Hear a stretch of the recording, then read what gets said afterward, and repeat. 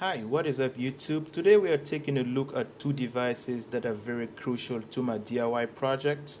The first one is this DROK 60 volts 8 amps 480 watts DC power supply which is about 8 by 4 by 2 inches in size and can be powered by 110 volts or 220 volts AC depending on your region. And the second one is this DROK voltage regulator slash boost converter that takes in 8 to 60 volt DC and can boost that all the way up to 120 volts DC which is very nice. So we're gonna start by unboxing both devices. As you can see simple packaging, user manual, logs, and.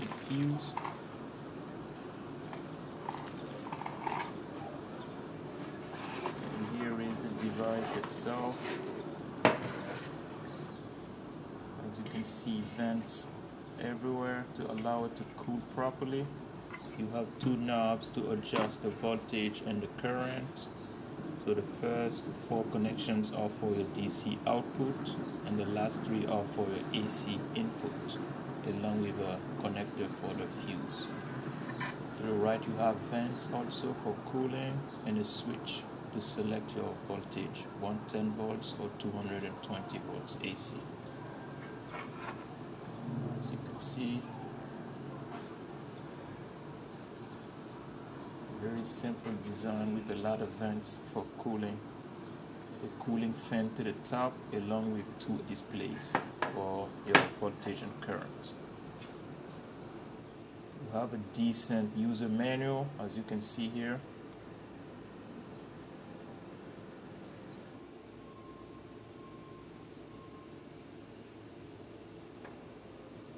A simple knobs to adjust your voltage and current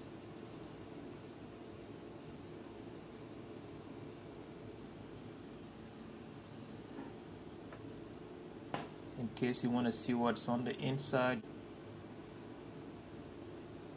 and your electrical components very simple for what it does.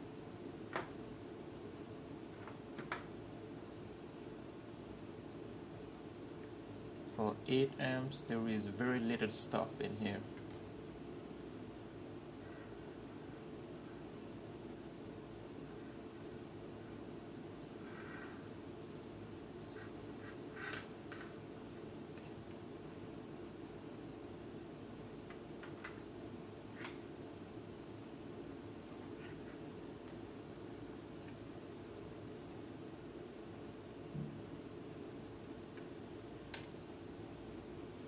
Alright, so next step we're gonna go ahead and unbox the boost converter.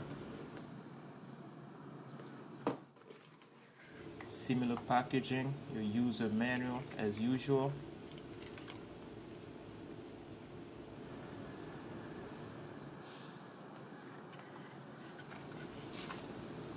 And then the device itself.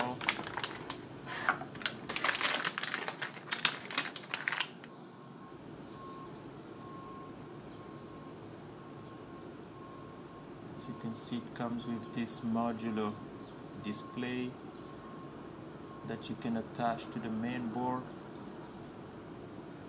Four buttons, three LEDs for the status.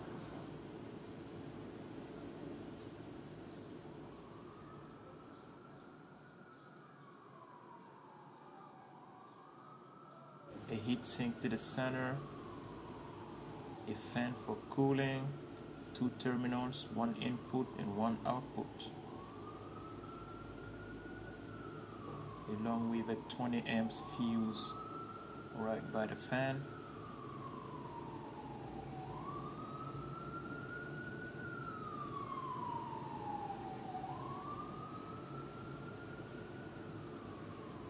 Fan very easy to swap out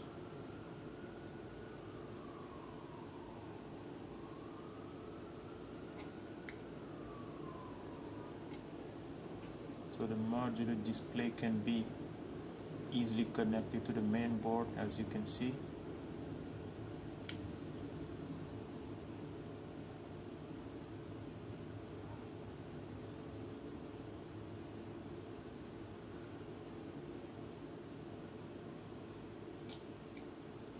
Very nice. This one is kind of exposed so I'm gonna have to design a 3d print an enclosure for it as you can see simple design and I added a lot of vents to allow it to cool down along with two covers. I'm going to let the heatsink exposed so I can easily check the temperature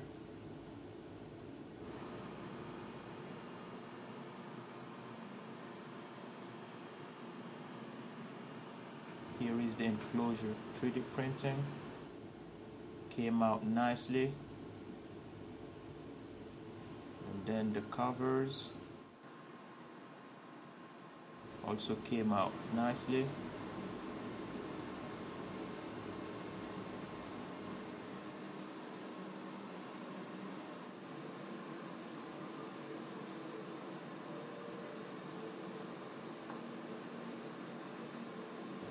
fits perfectly.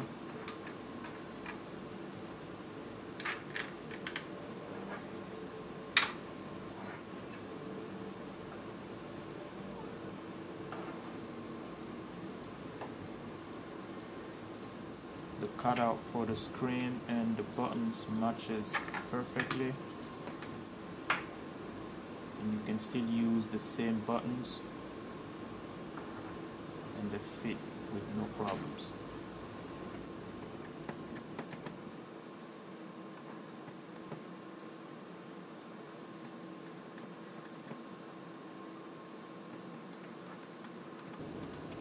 Alright, so let's go ahead and put these two devices to test.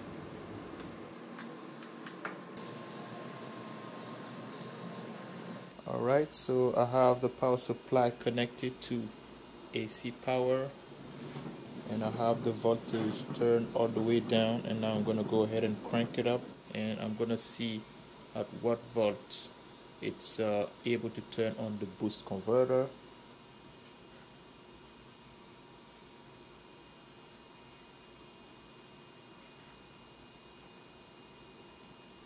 Alright, so at around 8.5 volts, it's able to turn on the boost converter. So that's the minimum voltage to power the boost converter.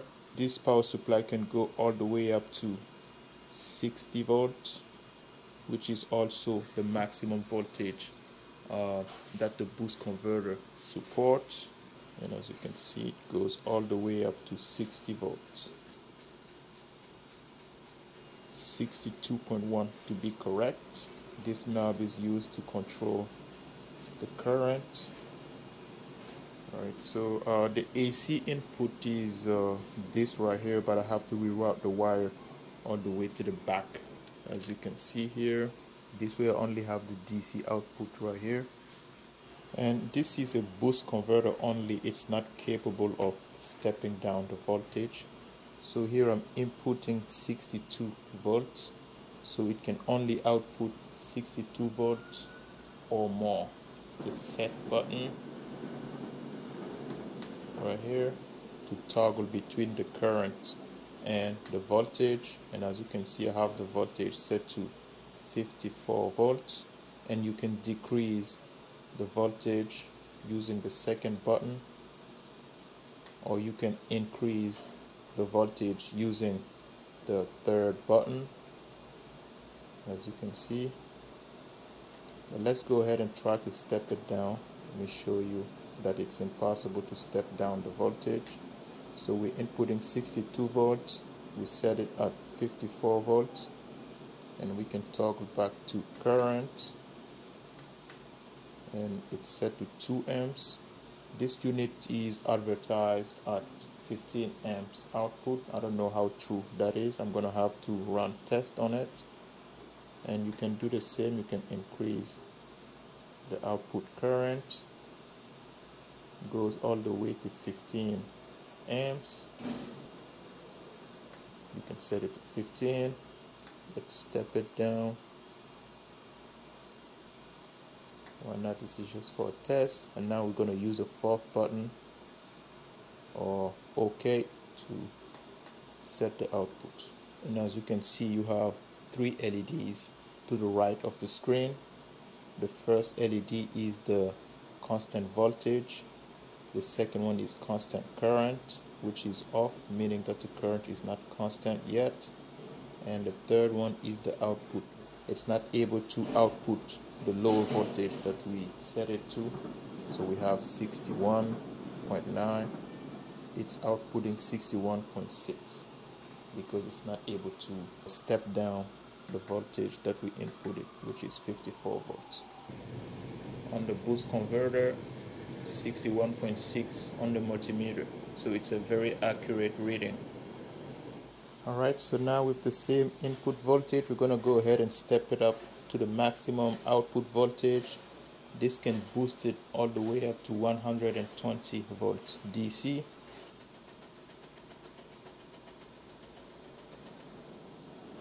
alright and as you can see we have 120 volts DC output so and set again to change the current. And doesn't matter at this point there is no load so you can go ahead and press OK. And as you can see we have 117.5 volts on the output. So let's go ahead and check that with the multimeter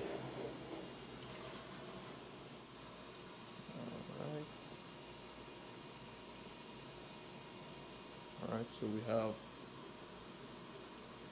118.2 here and on the multimeter 118.3.3 alright so that's a very accurate reading as you can see. This is a very versatile combination. This power supply can go up to 8 amps which is very nice. And if you can get 62 volts output here and 120 volts over there you can basically charge uh, any battery at least most of the batteries. 10s battery a 12s battery 13s battery and I can charge them all with this same uh, setup right here. Alright so here I have a lithium ion battery pack made of uh, 21700 lithium ion battery cells and this is a 13s 4p battery pack. So I'm gonna go ahead and put this to charge. Also made this adapter so I can connect it to the output. So since this is a 13S battery pack we just have to set the output to match the fully charged battery pack voltage so when each cell is fully charged it's going to be 4.2 volts. So we're going to input 4.2 and we'll multiply that by the number of S's which is 13 and as you can see it's uh, 54.6 volts. So we have to set the output to 54.6 volts. So we have 62 volts here. Since this cannot step down the voltage we're gonna have to step this one down. Let's set it to something lower so we can test the step up capability of the boost converter. We're gonna connect the output. And then we're gonna set this back to 54.6 volts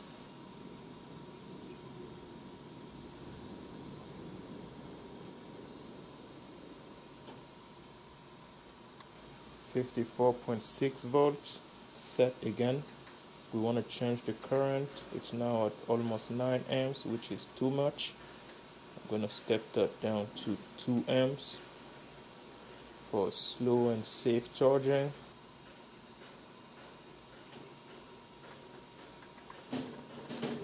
Press OK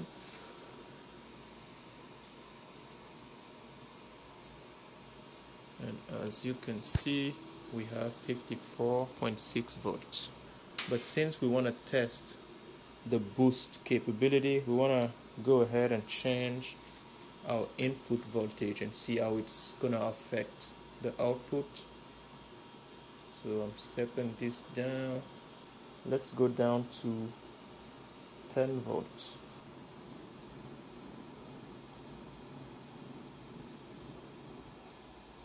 alright so now the input voltage is 10 volts. And we're still outputting 54.6 it's uh, 54.6 volts. Alright. And as we connected it you can see that the current is fluctuating on the power supply we are drawing 7 amps from the power supply. The fan is running. This one is still cool so the fan is still not running. But as you can see we have 54.07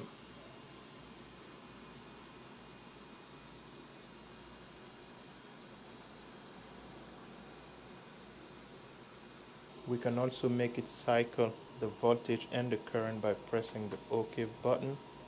And as you can see we have 1 amp 54 volts. Or we can press and hold to cycle between the two as you can see. And from the three LEDs now constant voltage LED is off. And now the constant current is now on the second LED meaning that the current is constant. And the third LED means that the output is on. So it's getting slightly warmer. This is why I designed the enclosure this way so I can still check the temperature from the touch. So we have 108 degrees Fahrenheit. That is uh, about 42 degrees Celsius. Not too hot. And let's just check on the FETs itself. The FETs are cooler. At 35 the smaller one is at 40 and the heatsink is at 42 so we have pretty good heat conductivity right here. So I can go ahead and connect to the Bluetooth module on the BMS of the battery. And we are connecting and we are connected and as you can see we have the breakdown on the amount of current the battery is being charged. Now it is trickle charging at less than 1 amp. Power is 35 watts. Battery is already at 100% it's about to stop. And as you can see we have the breakdown on each cell 13S battery and we have all type of information regarding the battery I can even stop the charge right here so this was my review of the DROK 60 volts DC power supply and the DROK voltage regulator slash boost converter for 120 volts DC if you have any questions, leave a comment. I will also have a link to the 3D files of the enclosure in the description. So stay creative and I will see you on my next video.